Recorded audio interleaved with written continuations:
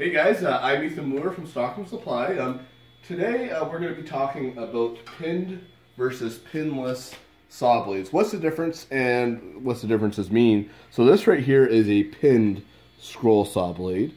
So you'll notice there's a pin that runs through the blade and that's what attaches it to the blade clamp. Now this guy here is a pinless blade and you'll notice there is no pin that runs through the blade. Um, so a lot of the older scroll saws like this old Delta will be strictly pinned blades, take strictly pinned blades.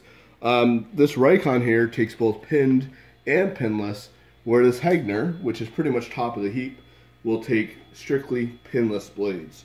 Um, so obviously, as you can see, with that pinned blade, it's um, got that pin that runs through it. It's significantly bigger. Um, you'll never be able to get as fine a blade with a pinned blade as you will with a pinless blade. Um, if you're doing a lot of fret work, you always have to drill a bigger hole to accommodate for that pinned. Um, now, when you're attaching a pinned blade to a scroll saw, one thing that is kind of interesting about these is on most pinned scroll saw blade holders, you can put it one direction or the other. So you could set that scroll saw blade up this direction, and you could use it, I guess, more like a bandsaw. Um, so it, it, just gives you a little bit of a different direction to cut. Now, um, they're about, I would say pinned blades are about as difficult to put in, depending on the saw, as a pinless blade. This one's a little bit challenging because you got such a small hole. Um, then it goes in like that. So there's our our uh, pinned blade. Now for a multi machine here, that will do both. So this will take pinned or pinless. They come with these little holders. This guy right here. So that will hold one side of the blade. And then on the back of the saw here, it's got this little positioner that will get my proper blade length here. Um, so it can be somewhat finicky to use to attach an actual pinless blade, but it's definitely feasible. Um, so that will go in there like so, and then you get your little Allen key and you just tighten this little clamp up. So then this guy, um, compared to that little Delta, is kind of nice because you got this great big hole here so you can see what you're doing. Um, so that will go, make sure we have this the right direction.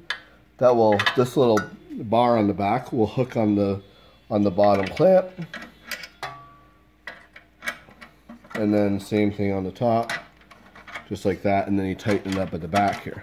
Now the one thing about both these two saws, and with pinned blades in general, is you have to retighten it every time to get your tension. So you have to retension it every time. Now a Hegner machine's a lot different. Um, so this is a pinless blade. Um, so when you're putting in the bottom, you just put her in like that. If you go down here, underneath the saw, you got a slot that goes all the way through. And then this will just fit in there like that. It gets clipped in, so it doesn't fall out. And then on the top, this will just go down. There's a stop right there. That will lock in and then you clamp. Now the cool thing about that, every time you tighten and loosen it, it'll go back to the exact same tension every time.